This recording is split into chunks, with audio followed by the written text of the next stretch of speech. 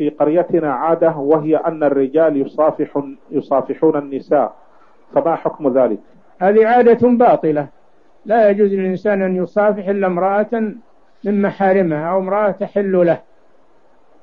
وأما المرأة التي ليست من محارمها أو لا تحل له فلا يجوز له أن يصافحها.